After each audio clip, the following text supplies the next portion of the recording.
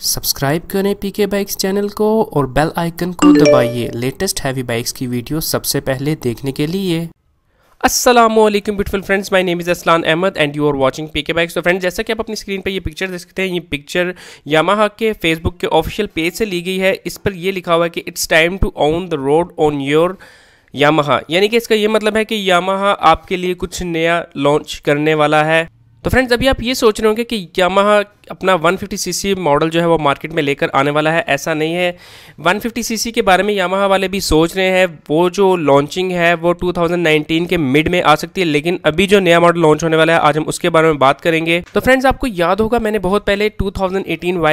की एक वीडियो बनाई थी, जिसमें एक भाई ने इसकी मॉडिफिकेशन करवाई थी, उसमें इसने अलॉयनिम्स और फ्रंट पर डिस्क ब्रेक जो है वो लगवाई थी। तो आपको ये चीज़ बता दूँ कि यामाहा भी अब अपना एक नया मॉडल लॉन्च करने वाला है, बिल्कुल ऐसा ही सेम ही उन्होंने ये वीडियो देखी भी थी और इस पर थोड़ा सा उन्होंने अपना रिएक्शन भी दिया था, जहाँ पर हमें ये बात पता लगी थी कि यामा वालों ने इस बंदे को बुलाया था और उससे पूछताछ की थी कि ये सारी मॉडिफिकेशन करने पर आपका कितना खर्चा आया है। तो अगर आप लोग भी जानना चाहते हैं कि इस मॉडिफिकेशन पर उस बंदे का कितना खर्चा आया था तो नीचे डिस्क्रिप्शन में मैं उस वीडियो का आपको लिंक दे दूँगा। वहाँ पर जाकर आप वो वीडियो देख सकते हैं और चेक कर सकते हैं कि उस बंदे का कितना खर्चा आया था। तो फ्रेंड जैसा कि आपने देखा यामाहा ने अपने 2018 में कुछ नए कलर मुतारफ़ कराए थे। उसके अलावा यामाहा ने यह भी कहा था कि हमने अपने इंजन में कुछ बेसिक चेंजेस किए हैं, जिसकी वजह से स्पीड और परफॉर्मेंस में काफ़ी फ़र्क आ सकता है। तो यहाँ पर यह चीज़ साबित हुई कि यामाहा जब भी अपना कोई मॉडल लॉन्च करता है तो उसमें किसी ना किसी किस्म की कोई ना कोई चेंजिंग ज़रूर होती है। उसी तरह यामाहा ने प्लान किया कि वाई बी जी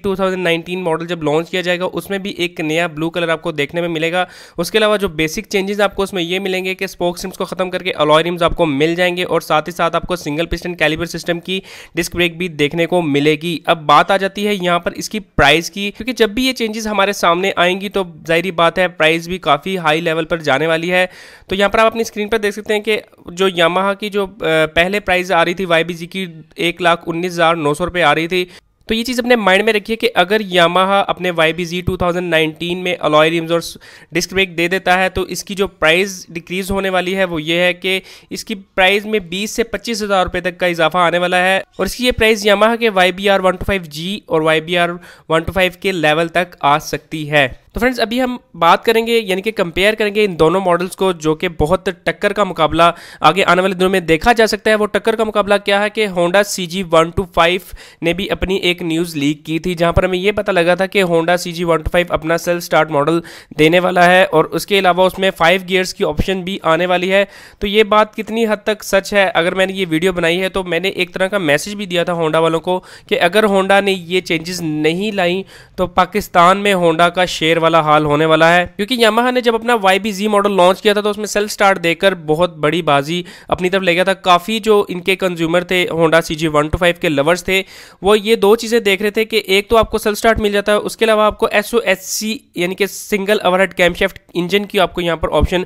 मिल जाती है, जिसमें वाइब्रेशन जो है ना होने के बराबर होती है, और ओ एच वी और एस ओ एच सी दोनों को अगर मुआजना किया जाए तो ओ एच वी यानी कि ओवरहेड वॉल्व का जो इंजन होता है, उसमें ज़्यादातर वाइब्रेशन देखने को मिलती है। होंडा सी फाइव में ज़्यादातर आपको जो कंप्लेंट्स मिली थी वो वाइब्रेशंस की थी। अब अंदर की बात क्या है, ये यामाहा को भी पता है और होंडा को भी पता है। इसीलिए आपका Honda C G one two five two thousand nineteen model जो है लॉन्च होने में डिले किया जा रहा है और यहाँ पर एक पैंतरा खेलते हुए यामाहा ने भी अपनी न्यूज़ शाया की, जहाँ पर हमें ये चीज़, ये लीक्स हमें मिल रही है कि यामाहा भी अपना नया मॉडल 2019 जो कि वाई की शक्ल में पाकिस्तान में लॉन्च करवाएगा। लेकिन मुझे ये चीज़ कंफर्म है कि होंडा सी जी जो है पहले लॉन्च हो जाएगा उसके बाद यामाहा अपना नया पैंतरा फेंकेगा, यानी कि एक नई बाजी खेलेगा यहाँ पर, जहाँ पर पूरी पूरी कोशिश ये की जाएगी कि Honda C G one two five को एक और बार फ्लॉप करने की कोशिश की जाएगी। तो यहाँ पर आपको बता दूँ कि अगर होंडा ने अपने किसी भी मॉडल में, यानी कि दो मॉडल्स की चेंजिंग की इन्फॉर्मेशन हमें मिल रही थी, जैसा कि Honda